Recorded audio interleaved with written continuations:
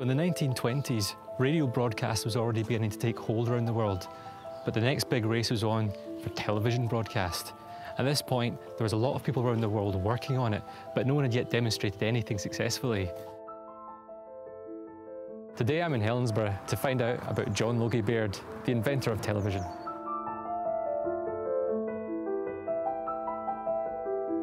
He had an incredibly inventive mind and even once went so far as to try and create his own diamonds by placing graphite inside concrete, then blowing the whole thing up, presumably in some attempt to recreate the geological processes by which diamonds are made.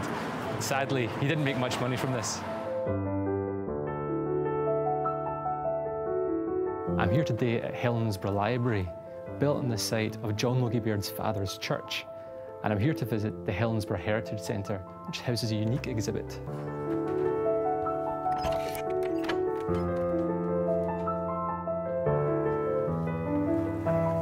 And this is it, one of the original televisors from 1926, handmade by John Logie Baird and his company.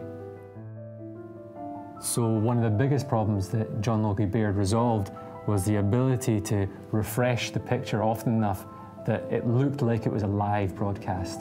People had been able to transmit pictures before, but this was really the, the innovative step to make television a reality. So in there was the screen, just inside there. The image was formed by this rotating disc on the background. The disc had 30 little holes in it that successively scanned the image so the resolution was pretty poor. The screen size itself, compared to modern TVs, is not very impressive. It's actually more about the size of a smartphone now. So at the time, this was an incredibly expensive piece of equipment, and only about a thousand were sold initially. But by the early 30s, hobbyists could buy a kit like this and construct their own television receiver.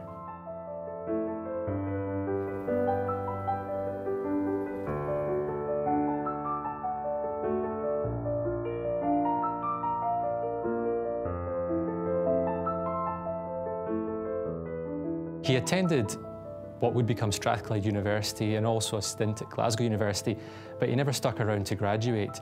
He wasn't part of the academic elite and he worried that scientists who thought television was a pipe dream wouldn't take him seriously. But he was a relentless innovator and he wouldn't give up. And given enough time, he cobbled together the first prototype television out of boxes and cans, spare parts, and held together with string and glue. And once he had that prototype, He'd invited guests from the Royal Institute, scientists, to a small flat in London to see the first televised image.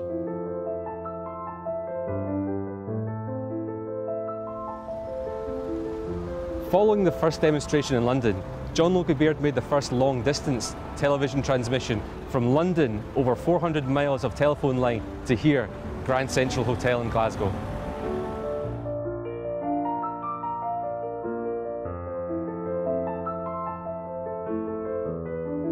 After the first long-distance television transmission came the first long-distance television broadcast, using Broadcasting Tower in London.